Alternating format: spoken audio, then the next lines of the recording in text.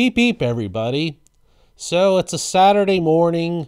Uh, I think this was uh, at 7:30 in the morning, and here we are on 879 West, coming off the Clearfield exit off of Interstate 80, and we're on our way in this dreadfully dreary morning to look for baseball cards at Yoder's Antique Mall, which is just east of Punxsutawney, Pennsylvania, which is famous for having that groundhog that comes out to tell you if winter's going to last longer or not.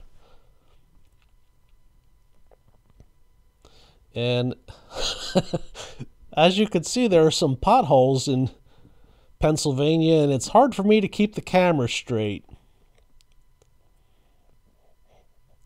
Now here we are in Curwensville, and they have these nice snowflake lights on. Um, on the way back, those lights were off, but there's actually a nice store here called the Stuff Store, I think, but um, they have some baseball cards, but I didn't get any there, and we went there on the way back. Um, but this video is for Yoder's Antique Mall. And uh, if you're heading west on Interstate 80, you want to get off at the first Clearfield exit that takes you on 879 West. We just hit another pothole there. And you follow 879 all the way down to Grampian, where it basically merges with 219. And you take that south until you reach 36. And you want to take 36 north and that will take you to the mall, which is along this road. If you're heading east on Interstate 80, you probably want to get off at Brookville and take 36 south. If you're coming from the south, you probably want to take 219 north until you reach 36, and you could also take 36 out of Altoona. Most people have GPS devices in their car, so uh, you can follow that. Um, but if you're still using maps, old school, um, hopefully those directions will help you get here. And I probably filmed this stretch of road a little longer than I should have, but we should be approaching uh, Yoder's Antique Mall very soon, right after we pass this funny looking tree that's been split in the middle because of electrical wires. And here we are. It looks rather unassuming from the front, but it's a rather large place. And you can see their sign there, Yoder's Antique Mall, now the largest in western Pennsylvania. And this is the front of the Antique Mall. And we'll be going in briefly to check to see what baseball cards they have. Uh, there's a total of two vendors here, and the first one uh, just has these scattered. Uh, there's 88, I think, Fleer packs in there. They have a 92 Topps and a 91 Leaf complete set. I've bought a couple things from here in the past, but nothing really caught my eye this time. Um, this is the first of just two sellers. The second seller has the most stuff. And if you go all the way to the back of the store, they have this table here that has baseball, basketball, and football. I'm not sure if there are other sports on on the table. The, these are the three most prominent ones. And as you can see, they have this arranged by player on the table. Um, some of them are in top loader, some of them are penny sleeves. The prices are on tags that are taped to the to the backs of these items. The baseball stuff here is on the left. And we'll slowly go through this so you can see what kind of a selection there is. And right there they have some $2 mystery packs and team bags. And we'll go over what I, I bought here after the video. Uh, or after the tour, we'll say. And here are some more cards in these uh, bins. Some are arranged by Pirates players, some are baseball, some are basketball, some are football. And there's a whole load of other stuff here. So if you're a Steelers or a Pirates fan, uh, there's a bunch of other different collectibles all arranged in this one rather large booth of stuff. And as you can see, there's some non sports things here too, like toy tractors and things. Now, this same seller also has cases up in the front of the store, and this is where some of the more pricier and generally vintage stuff is found.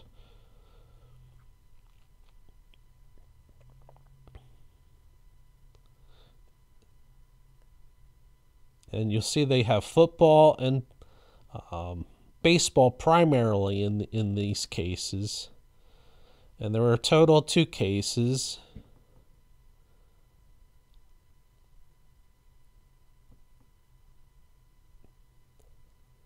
And this is the second case. And there's a there's a mixture of modern and vintage mostly in here.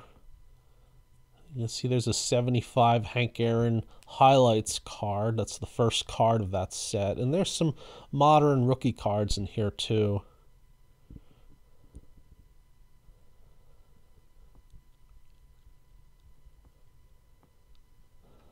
So after we were done in the mall, we took the dog for a walk on the side of the building where there's a, a lot of room for him to walk around and stretch his legs. Um, after this, I'll show you what I found here. So I hope you enjoyed the tour of Yoder's Antique Mall, which is just east of Punxsutawney, Pennsylvania, and on their sign you can see they uh, they are now the largest antique mall in Western Pennsylvania. Uh, I haven't been to very many malls, antique malls in the western part of the state, but hope to rectify that in the future. So I can't tell how accurate that is, but I'll take their word for it. Um, I've been going to this place for about a year and a half, I'd say. Uh, my wife discovered it some time ago, and uh, she gets good deals for the things that she buys there, and I find I usually do myself. So let's go over what we got, and I did buy some of those $2 mystery packs and team bags, and I've bought uh, many over the over the last year or so from that seller. Uh, these were $2 each, and uh, it looks like I bought six of them. And let's go over what's on the front and back. We'll open these up in a separate video. So we have a Byron Buxton Sepia parallel from 2019. And on the back, it looks like Francisco Lindor from one of those insert sets from 2018. Sorry, I got that off the camera frame there. Uh, this one has a Fernando Tatis Jr., 2021's greatest hits. And on the back is a Ryan Mountcastle card from 2021 Bowman. And this one is a Topps Black Gold of Bo Bichette with the Stars of MLB Kris Bryant on the back. And we have a Yu Darvish. Uh, I'm not sure. That's numbered 394 out of 650. It looks like a purple parallel for. Can't quite make out that. It says, looks like it says triple threads there. Sorry, the light is kind of kind of hard to see the shiny stuff sometimes. And there's an Alex Bregman on a 2021 Bowman on the back. And here we have a Johnny Bench, uh, Topps Lineage. I'm not sure what year this came out. We'll find out when we open it up in that future video. Kyle Lewis is on the back on a 2022 Topps Series 1. And Vladimir Guerrero Jr. on a Bomb Squad insert from opening day and on the back is Jesse Winker from 2022 Topps Heritage. So we'll open these six um, packs in another video. And um, like I said, I've bought the many packs over the the time that I've been going to this antique mall. And um, generally there are, I guess half the cards are decent cards. And then it's filled up with mostly junk wax after that, like uh, from 90 Bowman and 90 Donruss and, and sets like that. Uh, speaking of junk wax, I got these four rack packs from 89 Fleer, and I think we're going to open these up in a separate video and see if we can find the Griffey Jr. rookie. Uh, these were $2.50 each, and I thought that was a pretty good deal. I checked uh, eBay comps, and these are going for a bit more than that. Uh, and I guess it depends on which players are on the front. And I don't think there is uh, any particularly interesting players on the fronts or backs of these. And so maybe that's why these were 250 each. But we'll open these up in another video and see if we can find the Griffey rookie. And let's go over the singles we got. So I'm going to start off with uh, modern day cards and work ourselves work our way down to vintage and and end with the the the best card that I think I got at this place. Uh, so let's go with uh, this one. This is uh, 2011 Triple Threads uh, game used memorabilia for Pedro Alvarez, and it's numbered 6 out of 36. And I don't think too many people remember Pedro. He tied for the home run lead in 2013 when he had 36, and his playing career kind of went downhill, and he is no longer playing with playing in baseball or Major League Baseball. So I thought that was a pretty pretty decent card, and I thought I'd pick it up. It was only four dollars. And we got another uh, relic. This is a game jer- UD game jersey from Upper Deck of Jeff Kent, and this came out in 2005. And I think I paid four bucks for that too, so I thought that was a good deal. Uh, here's another relic. This was as Edwin Encarnacion. This is from 2017 Topps. And I'm not I don't remember what I paid for this. See, all the tags get taken off at the register and the receipt you get doesn't actually tell you what you paid for each individual card. So I'm I think I got this for 4 bucks, but I'm not really sure. Uh, definitely a possible Hall of Fame candidate right there. Um, this is a let's see, uh, 2017 Topps Heritage Chrome Jose Altuve on the 68 design. I thought that was pretty cool. And a pink um, 2016 Topps Chrome of Starling Marte. And I think that one was only like a a dollar twenty-five or a dollar fifty or something like that. Uh, Bowman Platinum of Shohei Ohtani. This one's from 2019. And here's another Bowman Platinum of Starling Marte. And uh, this one's from 2012. I think this is Bowman Platinum Prospects. So this this dates back uh, back very early in his career. Uh, we have a let's see, what is this? Uh, 2021 Archives reprints of Willie Stargell. You see the Topps Archives logo up here. This is base. This is basically his 81 Topps card design, and the backs look very much similar to that 81 set, but in a much more brighter appearance with a white card stock. And Carlos Correa from Bowman Chrome. Uh, prospects this is from 2015. I think Carlos Correa has a, a pretty decent shot of becoming a Hall of Fame uh, candidate down the road. Uh, he's putting up some pretty good war numbers. Um, so stay, you know, keep your eye on him. I think he's gonna has a good shot at it.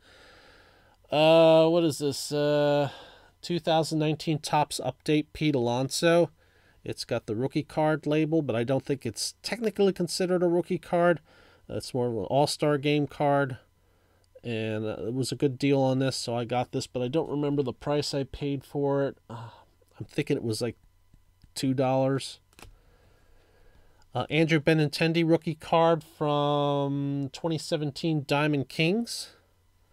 I'm sorry if my voice is going in and out. I'm I've got this stuff written down on a laptop next to me and I'm turning so that I can so I don't have to keep flipping them over and checking to see what their years are. So here we have uh 2009 Bowman Draft Prospects of Yu Darvish. And I thought that was I, I think this was a dollar, so I thought that was a good deal. And here we got a relic card of Dave Parker from SP Legendary Cuts. This is from 2002. I think I probably paid a little too much for this, but I was like, pretty cool. I need to get this. Um, th- th- this seller has some good deals, and then he sells a lot of things at about Beckett retail value, and I think that's how much I paid for this. So it's like this is here. Will I remember to look this up on eBay when I get home? Probably not. I like the card. Let's get it. We're already here. I'm not going to pay any shipping on it because we're going back home. So, so that's why I sometimes buy things at full retail when I find them if I think they're in really great shape and it looks like something I want. Uh, this was from up in that front case. This is uh, a Dave Winfield relic card. Uh, this is from 2001 Topps Archives Reserve.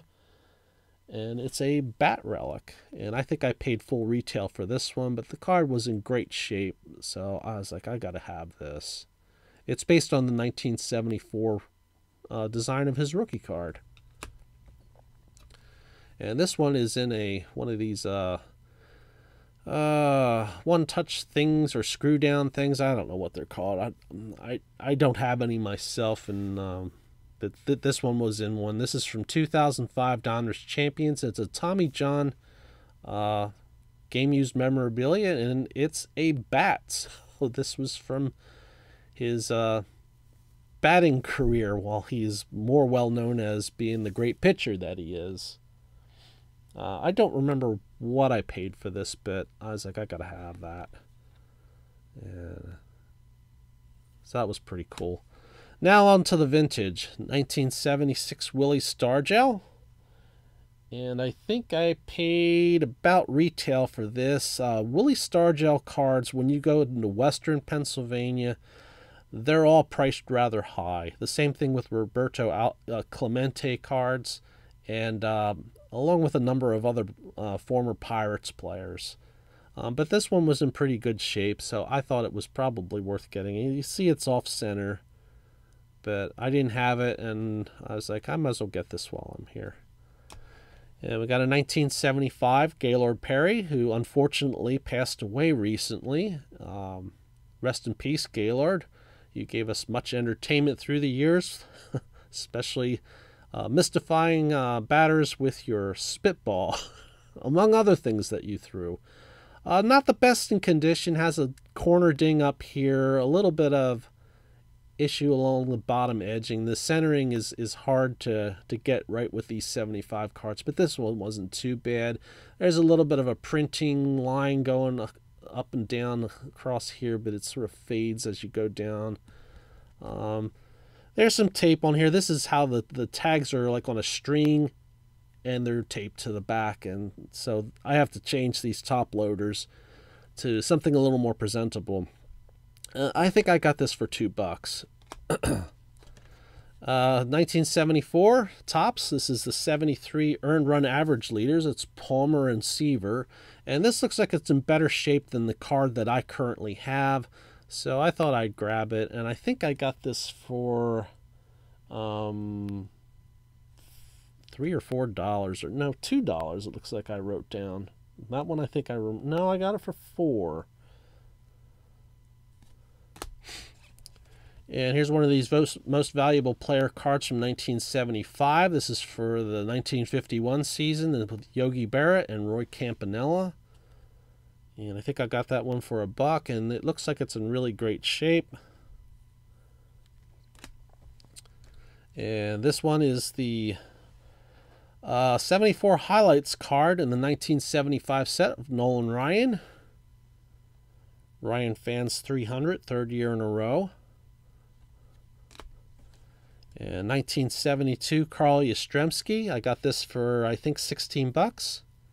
I thought that was pretty good. It looks pretty sharp. Um, it's a little bit. Mm, the image is a little bit twisted, like the cuts are on somewhat of an angle on this one. But it, still, it looks pretty clean.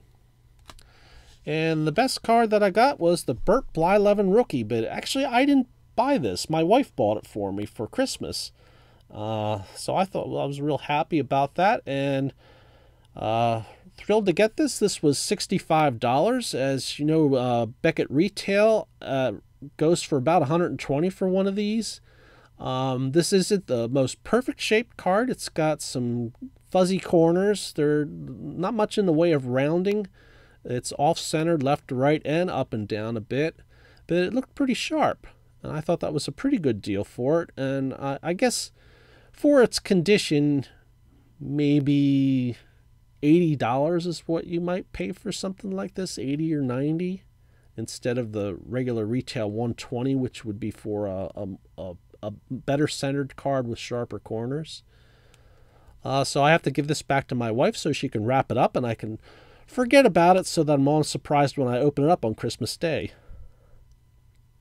So that's what I got at Yoder's Antique Mall. Uh, hope you enjoyed the video. Hope you all have a great day. Thanks so much for watching. Um, if you ever uh, go there and uh, find something good and you want to share it, um, put it down in the comments what your experiences were with this this antique mall. I don't believe I've ever seen a video from another sports card collector that has gone to this one, so this might be Yoder's debut in the baseball card world on YouTube. I don't know. I don't know. You can correct me if I'm wrong. I most likely am. There's an awful lot of videos out there, and I certainly don't have the time to get to all of them, and I try, but you know, I still work full time. When I when I'm retired, I'll have more time to watch this stuff. Anyway, instead of me rambling on and on, you all have a great day. Uh, stay tuned for more stuff. Um, I don't have any announcements to make, but I have more stuff to open up, so there will be a continuous line of crazy, wacky videos from your resident weirdo on YouTube, Pachycardopotamus. Take care, everybody. Beep, beep.